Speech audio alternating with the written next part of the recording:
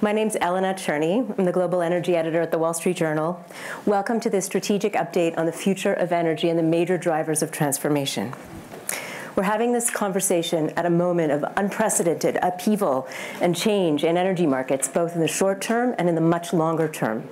In the short term, we're witnessing a rebalancing between supply and demand after a two-year price collapse that has been punishing for energy producers, oil exporting economies, and has sapped investment in the sector around the world. The short, the recovery in prices is playing out against the much longer term and more fundamental shift in the way that the world produces, distributes, and consumes energy that shift is, is moving toward a lower carbon economy and away from the kind of fossil fuel dependence that has defined economies for, well, probably since the Industrial Revolution. Um, that movement seems to be uh, difficult to deny. The momentum is there. The questions, though, are looming around how quickly this change will take place, what it will mean, what will be the sources of energy that replace the ones that we're currently using, what it will mean for consumers, policymakers, and especially the energy industry, um, many of whom are, many parts of which are represented here today. I'd like to start by asking, uh, by introducing our panelists and then asking each of them to give a viewpoint on how these drivers of change affected them and, and where they see things going. We have here Dr. Fatih Birol, the International Energy Agency, um, Kenneth Hersh, who is the co-founder and chairman of NG Management, Amin Nasser, the CEO of Saudi Aramco, Francesco Starace, the CEO of Enel, and Qiao Baoping, the chairman of China Guodian Corp. Let me start with Dr. Birol help us to understand some of the shorter term, if there's both a short term upheaval and a longer term upheaval um, underway, help us to understand in 2016 what were some of the key moments that have brought us to this moment of rebalancing or tentative rebalancing in markets. But how does that also connect to the much longer term question of where demand is going? You and I, before we came in, we were talking about the question of peak demand, peak oil demand. Um, help us to understand where we are now short term, but also what some of these bigger term questions, longer term questions are, and how we may get there. And thank you, and good morning to everybody.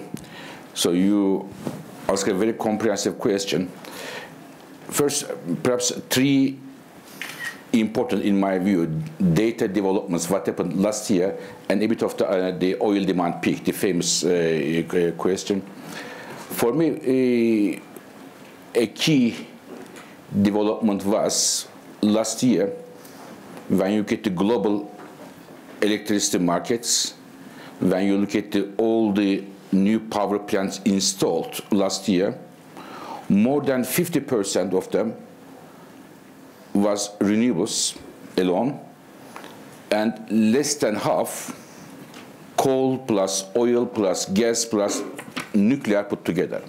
So which means nuclear pardon, uh, renewables was the main choice for the uh, utilities uh, for the uh, governments. And for the first time, we have seen installed capacity coming from renewables was higher than everybody else, which showed us that renewables are not anymore a romantic Western song. It's a business, it is happening, and people make money off that. This is number one. Number two, in terms of coal, coal means China. Half of the coal is used today in China, other half rest of the world. Two years in a row, last year it was again confirmed, Chinese coal consumption is in a decline. This is the second important one. Third important one, finishing with oil, we have seen low oil prices and an agreement uh, between uh, OPEC and non-OPEC countries. Now, these are three, I thought, uh, important developments uh, there, in addition to there are many other things on the LNG and so on, but just to pick up these three. When looking into the future, peak oil demand, you mentioned, there is a lot of discussion. I just came this morning from uh, uh Abu Dhabi, like uh, uh, with His Excellency here. Now, everybody is talking about electric cars, and therefore oil demand is, we are going to see soon a peak oil demand. I don't agree with that. Uh, I agree that we will see more and more and increasingly more electric cars. They will penetrate the markets, but cars are one of the drivers of oil demand growth. There are other drivers, which are trucks, planes, ships, and petrochemical industry, which will continue to push the oil demand growth. And as such, while I agree that the oil demand growth may be slower in the future than in the past, oil demand will continue to uh, grow at a slower pace. Mm. And just looking at the, car manufacturing and from that extrapolating for the global oil demand growth may not be uh, uh, the right way uh, to do it, I would say. Um, Mr. Nasser, if I can ask you to pick up on this, um, if Dr. Birol is right, there will be some time to, to go uh, for fossil fuels. This is not imminent. Uh, other people have voiced different views on, on peak demand. So you have quite a bit of time. There will be a lot of demand for um, Saudi Aramco's oil. But as I understand it, the company is taking steps to diversify and to prepare for a day uh, when taking oil out of the ground may not be as good a business as it is right now. Um, tell us a little bit about what you're doing and where you see demand going, why you're taking the steps that you're taking. Thank you and good morning. And I agree with uh, Dr. Fatih that there is a global uh, transformation that is currently undergoing, and it is putting a lot of pressure on uh, the oil and gas industry, the petroleum industry, mainly also uh, because of climate change and uh, government policies and technology advancement. Uh, the two key questions I think Fatih also uh, alluded to is energy mix and timing. with regard to the two areas that will be impacted, power generation and uh, the light vehicle uh, uh, industry. Uh, with regard to power generation, which will be impacted, today, if you look at it, 23% is in renewable. But in new renewable, solar and wind, it's only 4%. So they still have a long way to go to uh, be a dominant, uh, create a dominant impact on the power generation over the long term. If you look at China, even though there is, it is in the decline, but still 70 percent of power generation in China is on coal, 80% in India, 45% in Germany, and even in the US, it's almost one third in, in, in coal today. In the electric vehicles, which is something very important, and it is it impact oil in particular, uh, there is today 1.2 million uh, vehicles worldwide in electric, out of a fleet of about 1.2 billion. Uh, looking at the IEA uh, forecast, by 2040, there will be approximately 150 million electric vehicles, which is, but the fleet will go from 1.2 billion to 2 billion.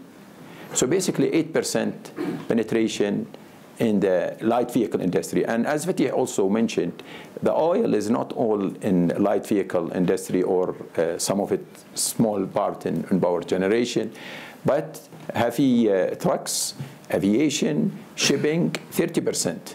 15% is in petrochemicals, in lubes, and in bitumen. So yes, uh, renewable will gain a market share uh, over the long term, but it, they will not be dominant and it will take decades for them to replace uh, petroleum resources. So what we are doing in Saudi Aramco, we are building our capacity in the oil. We are the most reliable producer. We have a maximum sustained capacity of 12 million barrels per day. We, uh, the kingdom has a capacity of 12 and a half million barrels per day. We continue to build our capacity. We are expanding our gas portfolio, where we will be doubling our gas over the next decade. The power generation in the kingdom will be 70% on gas. So basically, we'll be the highest worldwide in terms of power generation using uh, gas, uh, which will allow us to avail more crude uh, to the market. Uh, our forecast, there is healthy demand. We see we saw it in 2016, 1.4 million barrels per day. 2017, we're talking about 1.3 million barrels per day. You need to take into account, even looking at IEA prediction by 2040 for oil demand, and the worst scenario, talking about 73 the best scenario talking about 117 with a base case of 103. That, so there is a growth in the oil sector, even by 2040, even if you look at 2060. So we need to be prepared uh, for that, and we are building our capacity to be uh, prepared for that. So I think hydrocarbon resources will be with us for decades. Uh, there will be uh, an expansion needed uh, in the sector, and there will need to be a lot of capital that we look at the amount of capital that will be required to build the uh, Uh, the requirement to meet the 2040 and 2060 predictions. In the next just quarter of a century, you are talking about $25 trillion. So this uncertainty about renewables and the impact on hydrocarbon resource should not really deter us from putting the right capital investment to meet the future. Otherwise, there will be spikes in prices, and the global economy will be impacted as a result of that in other words, the economy may be moving in many countries, may be moving toward adoption of more non-fossil fuel power, but the percentage is so high right now of fossil fuel uh, generation that the hydrocarbons will remain necessary and will in fact continue to grow for some time. Is that what you're? I agree with you. And even in areas where it's moving, for example, when you look at electric cars, 1.2 million, most of it is in developed countries developed economies where incentives are provided. When you're talking about a much bigger fleet of 1.2 going to 2 billion, incentives will be difficult to uh, be given in, uh, in, in, developing and developed countries for a bigger fleet. It is easy for a smaller fleet to provide incentives and encourage and put a lot of regulations around it. But when the fleet start to expand uh, to 2, 2 billion by 2040, it will be very difficult. And you're talking about 150 million, even with that, it is manageable, manageable within with the growth that we are seeing. If I may add something here, leave aside it, I give you one uh, uh, other, other example. Uh, last year was the record sales of electric cars. Yes. And what that meant was less than one car out of 100 cars sold was electric cars. 99 was the traditional, uh, one is electric cars. And if we were to assume, as of tomorrow, every second car sold was an electric car, not one out of 100, but every second car was an electric car. For 25 years, global oil demand will still continue to grow. Yeah. Because the growth is not coming from cars, it's coming from trucks. One third of the global oil demand growth today comes from the Asian trucks only. Trucks in Asia are responsible of one third of the oil demand growth with no efficiency standards or no substitution impact. So. No, I think let's come back to this. I think some people would argue that that could change. There could be technological breakthroughs, breakthroughs in storage, breakthroughs that would bring down the cost of electric vehicles, and that that could, over time, that could change. But you need it will, infrastructure. It will, happen. You need the infrastructure, other than economic. You need the infrastructure to be built around that. And it takes years, decades for to build the infrastructure. So it's not about just having the vehicles ready. You need the infrastructure to go with it. And that will take a lot of time to, to build. Electric cars will definitely happen. What I am trying to say is this doesn't explain that oil demand is going to peak. So this is what I want to say. Fair point. But at the same time, just to add to what you have said, what Aramco is doing, we are building our uh, capacity in petrochemicals, in, in lubes uh, as a company. We are also taking a strong position in solar. The kingdom is looking at 10 gigawatt by 2023. His Excellency, the minister, just announced 30 to 50 billion dollars. Uh, His Excellency, the Minister of Energy, Industry and Mineral Resources, Engineer Khalid Al-Falih, just announced 30 to 50 billion dollars of investment opportunities for in, in renewable in Saudi Arabia. This is by 2023, and the company is taking a strong position on renewable as well. So while uh, we are building our capacity in oil and gas, we are also uh, taking a strong position in renewables as well which will diversify and hedge against the exactly. chance that. Okay, let's uh, keep going and make sure that we get to, to uh, two more people here. Um, on the point of infrastructure, this is a very good point because it's key to the whole question of transformation across the energy sector. Um, in, in, China, if I can ask uh, Mr. Qiao, um, we saw recently, I mean, China's big challenge, coal remains a very huge source of power in China. The Chinese government has been very committed uh, to or taken steps to limit the growth of coal power. Um, and also, we've seen an interesting dynamic in terms of leadership on the global stage um, as the U.S. appears less committed to the goals of the Paris Accord, uh, with an incoming president who has signaled that he's not committed. China, for example, in Marrakesh, um, signaled that it very much was committed. Where do you expect uh, policy to go in China, and what is China Guodian doing um, in order to lessen its dependence on, on coal power?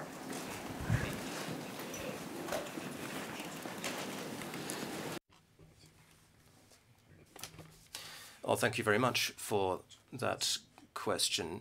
In my opinion, the Chinese government's stance on climate change and implementing the Paris Accord, taking up its social and global responsibility is an unwavering stance.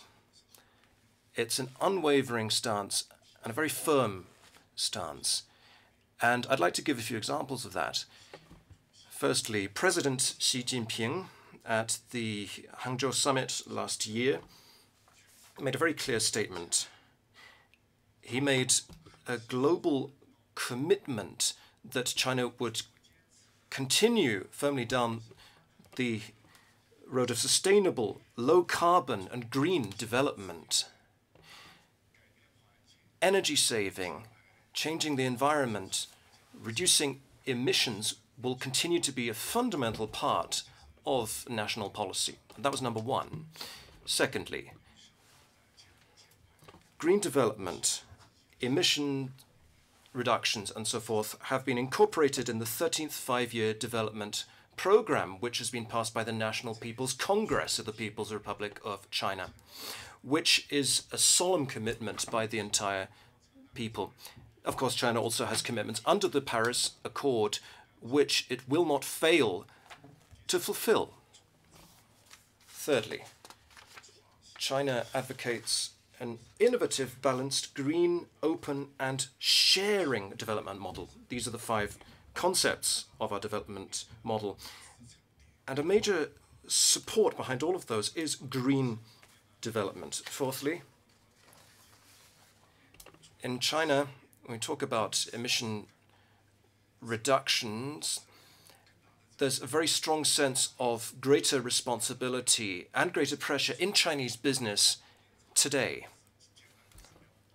If we talk just about thermal power in China, China already has the world's strictest emission standards for coal power stations, SOX and NOx, respectively 35 milligrams and 50 milligrams, which are lower than the developed world, in fact. Now, I've just had a conversation with Mr. Birol, and we both uh, recognized the fact that China's thermal power is large in absolute and in percentage terms. Uh, it's currently 68% of the Chinese energy mix. Now, we have a country here of 1.4 billion people, and there's a historical background to that use of thermal power. So, to change that mix that currently still heavily relies on thermal power is a long-term project, but that percentage is going down every year. The group I represent, China Guodian Corporation, has a total IGC of 140, 140 gigawatts. That ranks us second among world power producers, and the majority of that is thermal power. But in the last few years, we have continued to accelerate our development of renewables. Hydroelectric, we now have 16 gigawatts of hydroelectric installed, 25.7 gigawatts of wind power, both which rank us first among world power producers. We also have biomass, geothermal, and tidal generation underway. So the commitments are made by the Chinese government, but to a large extent they are fulfilled by Chinese businesses such as mine. And I am confident that China's emission reductions and green development will see greater progress in the future. Thank you. Thank you. Um, Whoops. I think the, the infrastructure challenge that you outline is, is a very real one and is faced by power generators and utilities around the world. Um, Mr. Starace at Enel, um, actually, you've been quite vocal about your uh, perspective on, on climate change and the need to make change. Um, you told a UN uh, group that the survival of the planet is at risk and there is a pillaging we have taken for granted of our planet that needs to end. Um, tell us what you've done to end what you termed this pillaging. Well, I think you know, that, that, it's true that we have in a, we are in big transformation. Uh, this transformation has not the first that happened in the industry. It happened already several times.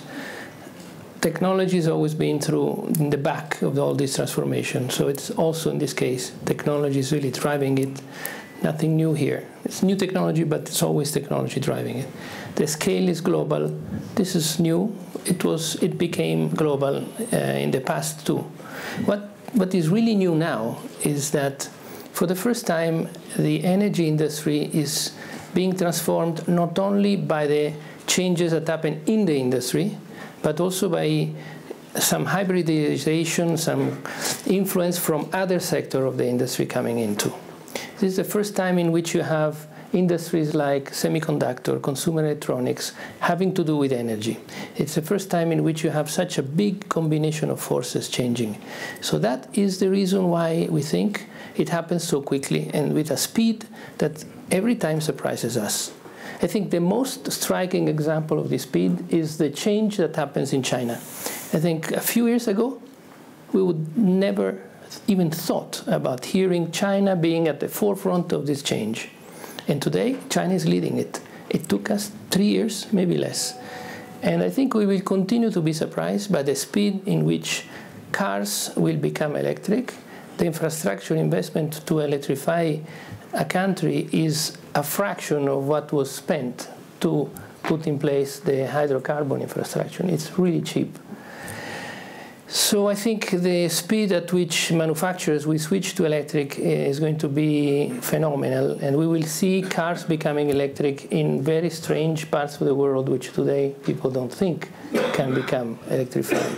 And in general, electricity will get into the use of industries that today don't use it.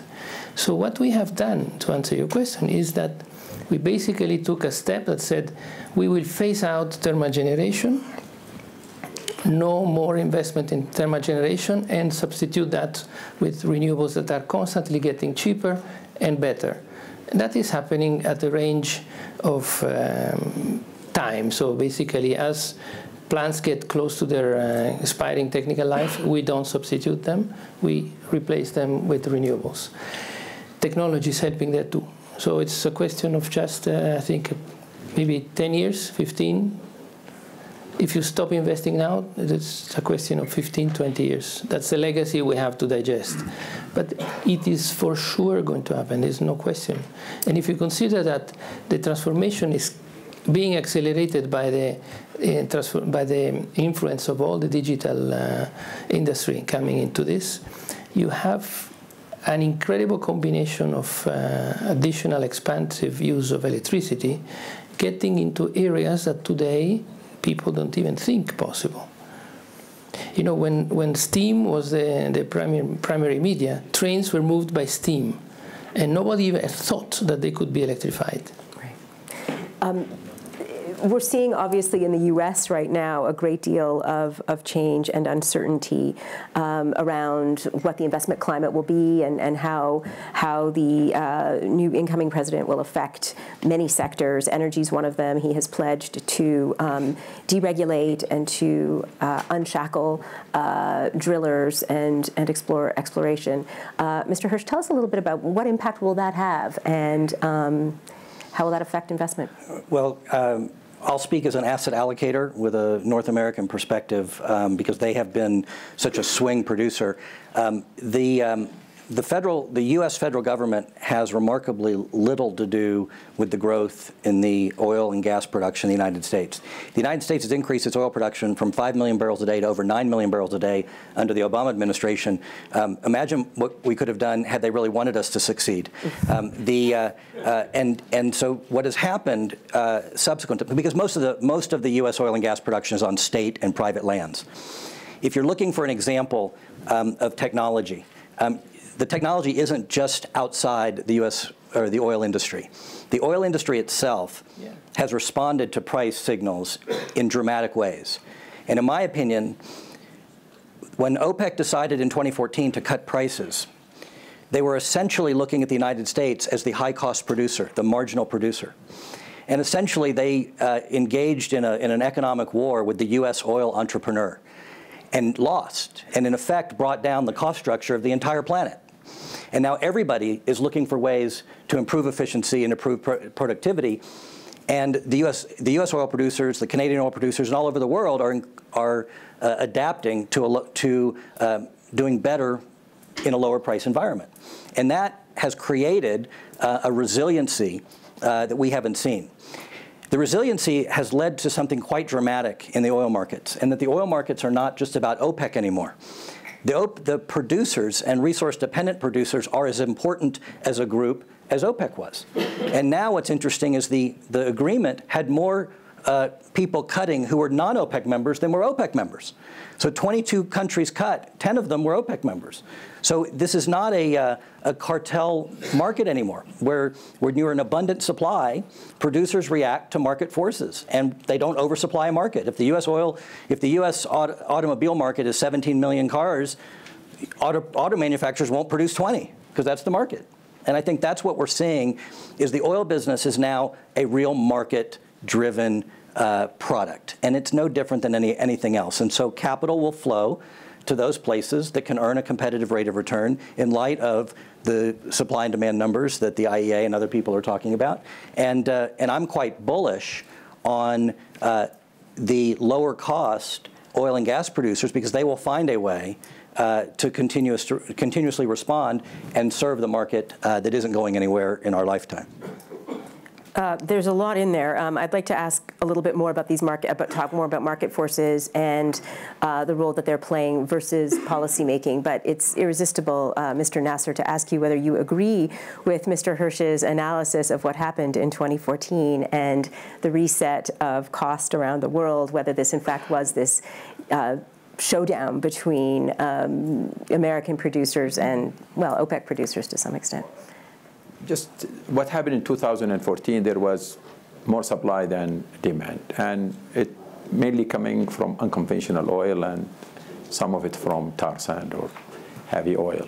And that unconventional oil that came at a million barrels a year over five years, almost five million barrels of additional supply, which is uh, significant, put a lot of pressure on prices, brought prices down. Uh, I don't want to speak on behalf of, uh, OPEC because that's not my role, but to me, it, there was a decision that is taken at that time. Let the market forces uh, find out and uh, balance the market by itself. And that is exactly what happened. Prices uh, went down. Uh, expensive producers, you saw the 9.7 million barrels coming from the U.S. went this year to 8.7. 1 million barrels disappeared compared to a growth of 1 million barrels a year. Notice the difference, the huge difference between what used to happen. So the market forces brought prices down. The, uh, the recent agreement, and I think it is stabilizing the market. The market is balancing. We are hoping by first half of 2017 there will be an equilibrium and there will be a growth because demand is uh, what we are seeing is strong. There will be a need for more resources to come. And we are preparing ourselves to uh, avail the additional resources over the long term because we don't want what happened before to happen again. If no investment are uh, availed to the industry, prices will spike. Prices, of course, unconventional will pick up, right. will, but it will take time. Everything. But the U.S. unconventional has increased um, about half a million barrels a day on a $50 base, where um, two years ago it was unthinkable that oil, oil production in the United States would actually increase at $50. So we have brought down the cost of production, but it's now not a U.S. producer story. Um, the high, there's other high-cost producers. I don't know. I don't right? think it's increased because what happened between 14 and, and, and if you look at the total U.S. production, it's 9.7. It is around 8.7 today. So there is not a uh, low of 8, about yeah. 8.3, it's gone up to about 8.7. right. I mean, the, these days there is a growth a little bit, but uh, by the way, by the way, it is coming. Some of it coming from uh, liquids coming with the gas. So uh, there is an increase in the crude side, but it is limited in terms. It will take time. Sure. They need to see the prices uh, respond positively, sustained over a period of time before additional capital come to the market to and, and investment comes and you will see right. more growth in the unconventional oil. Can I put this to one of our audience members? We have uh, Khalid Al-Falih here. Uh, Mr. Al-Falih, it's even more irresistible to ask you um, what you think was the uh, reaction in markets to the decision in 2014, and I, I know that was uh, a while ago, but uh, was the reaction in markets to the decision in 2014 by OPEC to not intervene um, what was expected at the time? Would you have forecast the degree of the price collapse, the um, length that it lasted, and the impact that it had not just on shale producers in the U.S., but on Saudi Arabia and, and other OPEC producers? By the way, at that time I was in a means I, I know, So I, I I wanted to ask you carefully. party to the decision, but I think as an observer, I would have expected uh, rational people around the table at OPEC to make exactly that decision because cutting and keeping the prices at three digits in 2014 would have kept what Ken was talking about, which is 1 million barrels year after year after year coming from expensive North American oil. And OPEC would have had to cut year after year after year. I would have expected Saudi production to be 2 to 3 million barrels below where it is in 2017 uh, under that scenario. So obviously, rationally, uh, that is not sustainable. In the past, OPEC had made supply reduction decisions, but they were in response to short-term events like the Asian financial crisis, like the recent financial crisis in 2007, 2008, to balance markets, or in response to disruptions elsewhere.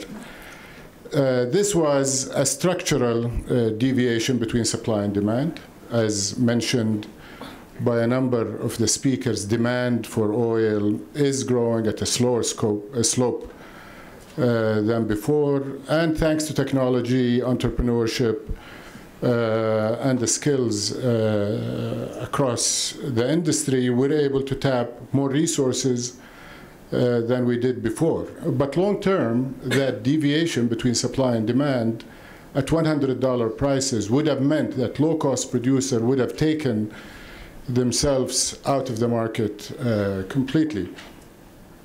Now, $50 oil, we're seeing a recovery in North America, and we're thankful for this. I can speak in my capacity uh, as the oil minister of Saudi Arabia, looking at the long term in terms of decades. We need the contributions from all sources of the oil supply base. So uh, we hope that they will be able to maintain this. My expectations is that the cost will creep up. The supply industry has been decimated, and some of them are buying jobs today at $50 oil just to stay afloat. Once they see that their clients, the operators uh, in the shale and elsewhere, are uh, in the black, they will start raising costs. So I think costs will go up. They will, there will be uh, an inflation, and I think the balancing of of the market in 2017 will also include an inflation on the cost of doing business. Also, what is being tapped recently in North America are the most prolific and they're not going to provide two, three, four million barrels of incremental capacity. So as demand goes, they will go to the more expensive, more difficult, less prolific uh, areas in the shale, and I think they will find that they need uh, higher prices. What that price that will balance the market, nobody knows. But I think in the long term, OPEC has learned, way before me, that ultimately what rules is the market. And OPEC is going to try to minimize fluctuations within the oil markets, but we cannot eliminate them. Certainly, we're not in the business of setting a price. $100 or $60 or $70 is no longer a realistic expectation. Some of the OPEC member countries may desire this, but we certainly cannot do it. I think, Dr. Birol, you wanted to make a comment? No, I mean, just uh, perhaps to this oil discussion to a bit wrap up that discussion. So there, there is a new oil world. This is with the shale oil coming in the picture. And uh, about the numbers, first of all, last year there was a drop. Yeah. But I expect this year uh, U.S. production will start to increase again. The numbers all the indications are there as a result of the higher prices. This is number one. Number two, the, this will go. Prices will go up. U.S. and other production will come down and put downward pressure on the prices again and up and down. Therefore, the name of the game is we are entering a greater oil price volatility. You will see much more volatile prices because we will see the U.S. shale oil is very flexible with the prices, and I don't know where the equilibrium price is, but it is very flexible. This is number one. Number two, there is something to learn from the, uh, for the oil-producing countries. We have seen the low oil prices, in my view, was a stress test for the economies of those countries, especially those who rely heavily on as oil and gas revenues went through difficult times, and it is the very time, in my view, to diversify, to broaden the economy of those uh, countries. And as such, what Saudi Arabia is doing, United Arab Emirates is doing, or planning to do is excellent. But the country which suffered the most uh, here is uh, Russia. Russia suffered a lot, and Russia is the only country, only major producing country, which had a recession as a result of this prices. Mm -hmm. And the third point uh, I wanted to uh, uh, mention here, when we look at the investment numbers, 2015 and 2016, global oil investments declined two years in a row. And it has never been the case in the history of oil that the oil, oil investment declined two years in a row. If there was a decline one year, next year there was a rebound. If we believe 2017, this year, if there are no major new investments are made, in two, three years of time, we may well see a significant gap between production and consumption, which I am not sure shale oil will be alone enough to uh, fill that gap. So therefore, in, in my view, alarm bells are ringing uh, for two years of time if no major investments made uh, this year. That's that. I say something uh, just to add to what Fatih. You know, the oil cycle, even to put facilities on stream, it takes a long time. Talking about four to five years just to put one facility, certain increments. So to to build up the capacity, you need you need certainty. The issue is there is uncertainty because of all this uh, talk about renewables and the impact of renewables and whatever. Even IEA, to be honest with you, is not helping when they are putting their predictions or forecasts with a big 44 million barrels um, uh, a difference gap between the worst scenario and the best scenario. And that will be difficult even for investors to invest $25 trillion over the next 25 years. But to put that, that much of an investment. I think Mr. Director wanted to. No, let me just uh, put it. It is different policies. If the world goes to follow the way, a two degrees trajectory, yeah it will have implications on the uh, hydrocarbons. But if the world keeps as it is going, it will be different. So different worlds with different results. We are putting, if you follow this policy, you end up with this. But if you don't like it, follow this policy, go with this. Pro-environment, pro-climate, or business as usual, or others. I, why don't you jump in, but I want to clarify that statement. I just wanted to, to uh, take a point that Mr. Nasser just brought up.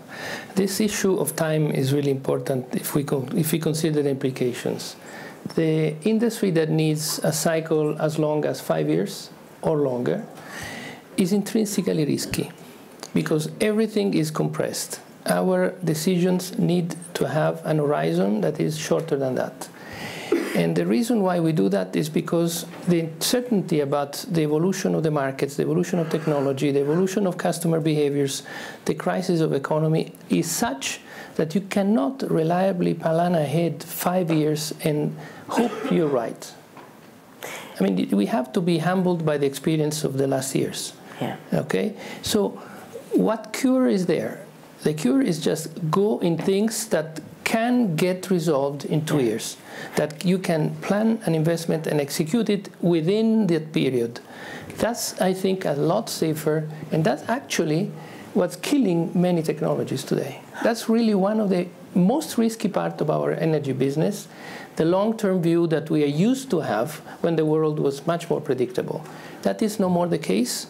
And either we understand and adapt and get out of technologies that require that time, or we risk a lot. And the volatility of oil, which has always been there, it's not nothing particularly new. The fact that it increases going forward is a classic indicator of intrinsic riskiness. That's what I think. And that's the reason why we said in our company we will not plan and execute and invest in anything that will require more than three years to be realized.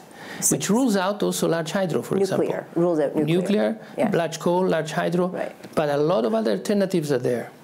Mr. Qiao, do you want to comment on that? Because you have to, uh, you alluded earlier to how difficult it is uh, in a country so big with so many needs to uh, make a change off, off coal, for example, and that these projects are very, very long term, involve huge infrastructure commitments. Um, tell us a little bit more about how you go about making those decisions and moving from uh, what you have now to the, the renewables and other sources of, of power.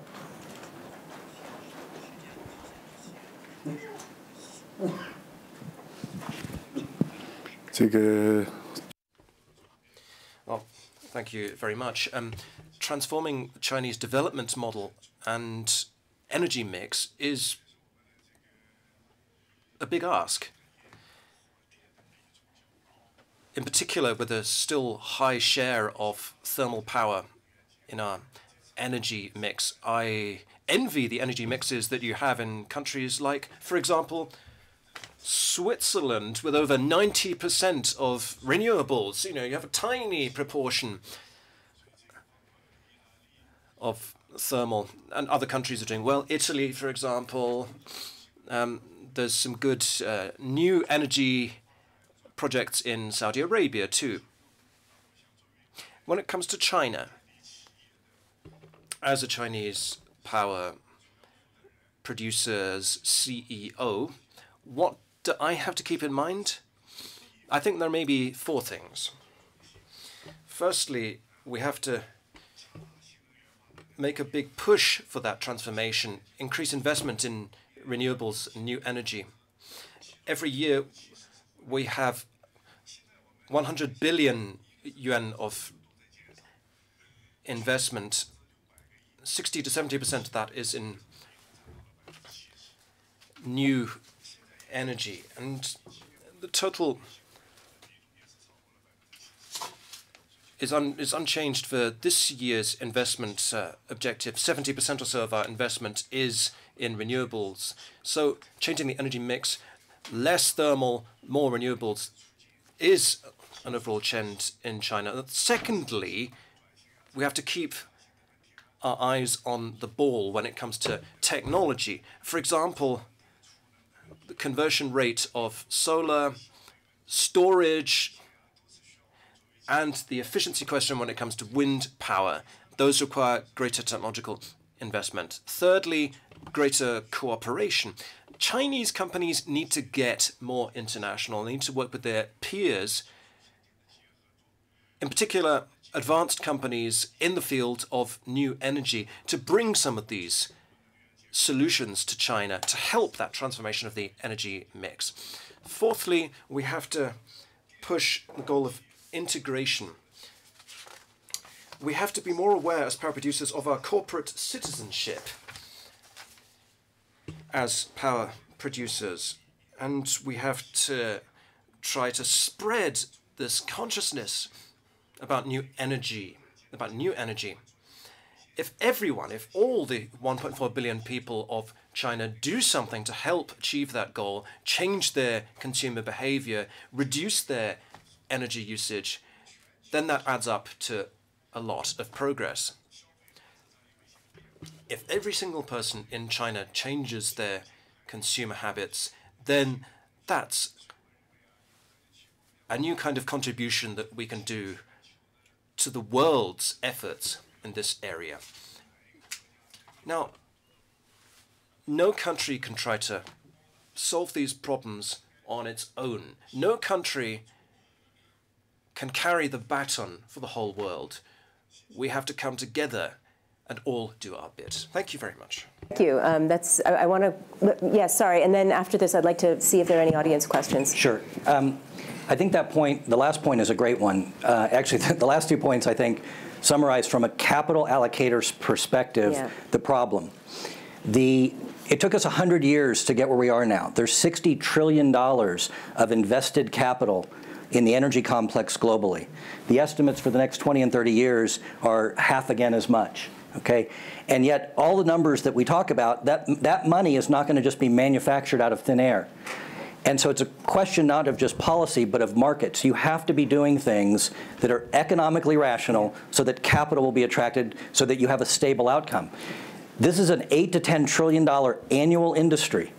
And any uh, anytime there's an unnatural um, uh, policy that causes capital distortion to go in places that are uneconomic, over time, that erodes the people who are providing the subsidy. And we've seen it in countries that were too early um, on the renewable game, and they're now getting rid of their feed-in tariffs because it's, it's basically going to run over people that try to get in the way.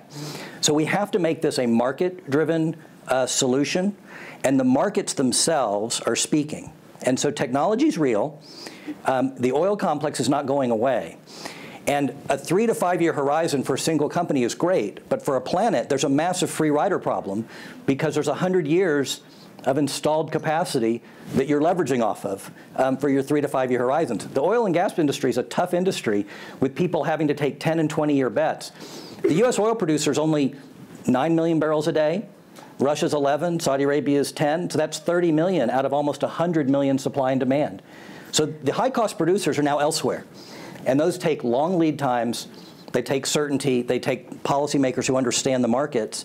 And uh, the oil and gas industry isn't going anywhere. We got to understand that capital's got to come from somewhere. Let's get uh, a question from the audience, if there is one, before we wrap up. Anyone have a question? Please, if you can introduce yourself. I'm DK Sarraf, CEO of ONGC India. And uh, my question or the observation is uh, regarding the uh, relevance of oil in coming decades. Uh, because uh, as has been seen, uh, the cost of solar has been reducing phenomenally. solar is already below grid, grid parity in more than 80 countries now the solar storage when it comes it would make further impact the electric vehicles are coming to give uh, energy to the uh, vehicles from solar. So I think it's time for the oil and gas companies, the producing companies, uh, Uh, to wake up. I, I, think it's a, a good wake up call. Uh, it may not happen uh, in our lifetime. Uh, it may happen maybe 20 years uh, after, but 20 years, 30 years is also not a very big period in the history of industries, not company, in the history of industries. So uh, I think uh, the oil and gas companies need to uh, uh diversify into different type of businesses. Many of the country uh, companies have already started uh, doing it. this is one. And second is on clean energy. this also would further motivate solar energy um, generation. Uh, because many of the countries are already signatories to the Paris Convention. India, by the way, has uh, already uh, started in a big way. uh, and it uh, wants to uh, generate 175 gigawatt of energy uh, through renewables, out of which 100 would come out of solar, 60 would come out of wind, and so on. So uh, the, the, the question is to uh, Mr. Birol, is it, I mean, what I'm saying is I'm overemphasizing or this is something which the oil and gas producing companies need to look into? Uh, please. Thank you. So uh, I think you are not overemphasizing. When, as I said, when you look at the numbers, there is a boom of solar, uh, and the the good news is the cost is coming down substantially. The solar prices in the last five years reduced uh, by 80 percent. Can mention that the, uh, the, oil industry also reduced the, the, the cost, but the, it was much more impressive in the case of solar, and it will continue. This is good news. Having said that, solar we are using for mainly for two reasons. One, ele ele generate electricity. Second, not much known, the, uh, the heater, so water heater. Both these cases, solar is not an alternative to oil. Solar is mainly alternative to coal, if you look at this, for the electricity generation, not to, because we use oil mainly and more and more for transportation and petrochemical industry. So in my view, solar will go very strongly, but uh, there'll be a change generally in the energy sector, but there will be some constants within the change, and I believe we will need oil. Oil demand will also grow, but much less stronger than in the past as a result of renewables growth. Okay, and we will also have gas, natural gas. Very good. Um, we have time for one more quick question. Quick. Thank you. Please. Okay, so microphone, please. So, very quick question. Uh, what's the future of energy as far as emerging uh, economies are concerned? I'm from Nigeria, and uh, we have a huge energy gap, especially in the area of power. So, what's the future of energy as far as emerging economies are concerned? Who wants to take Can that I, one? I try that? Please. Well, I, I think you have, first of all, uh, emerging economies is becoming a very difficult word. There are many different economies there in, under this definition. But in general, these are economies that have what mature markets don't have, that is a robust demographic growth and a robust demand growth because of demography and also because of economic development. So in this part of the world, you need to uh, put a lot of infrastructure in place to supply demand quickly so the, again, it's the issue of time is really important. And you have many solutions you can choose from today. Uh, 10 years ago, it was not like that. You, you had a very blueprint solution, put some power plants, put some grids, and go on like that. Today, you can choose a lot of different ways. You can have a development bottom up, a lot of distributed generation, and build grids from the low voltage up to the high voltage, and then connect the whole thing. Or you can try that model again, big plants and go down to the, to the villages. It's really uh, an open solution, and it very much depends on what kind of uh, let's say, uh, energy sources you have locally and what kind of infrastructure you already have, if any, and what kind of legacy you want to leave. Today we see economic, uh, econ um, emerging economies going from one end to the other of the spectrum with a very continuous uh, uh, gray zone in between. I think as technology becomes easier and less, less expensive, the distributed generation first and big plants after will switch and will become more important. It's easier to implement, it requires less decision making and, and not big uh, state-driven schemes. Later, when, when the economy picks up, you might have to add higher, bigger plants. But I mean, it's, it's just in this very day, in these very years, it's, it's transitioning from one, one model to the other we're out of time here. I think this is a good note on which to end, though, because it does speak to the transformation and the kinds of change, not just in what the power sources are, but how they are distributed, how they are used, and also to the gap between the developing world's questions and the developed world's questions. Um, thank you all so much uh, for exploring these issues with us. I think I'm leaving with um, the thoughts, actually, that you uh, summarized so well, Mr. Hersh, about the role of markets as opposed to simply regulation. If I walked in wanting to know more about what the impact of uh, uh, a new US president would be on the global climate move and the likelihood that two degrees would remain a global goal, I am now thinking more about the role, again, of markets and investment and the $60 trillion that um, have already been spent in building the world that we live in right now. Thank you so much, and that concludes our update for today. Appreciate your today.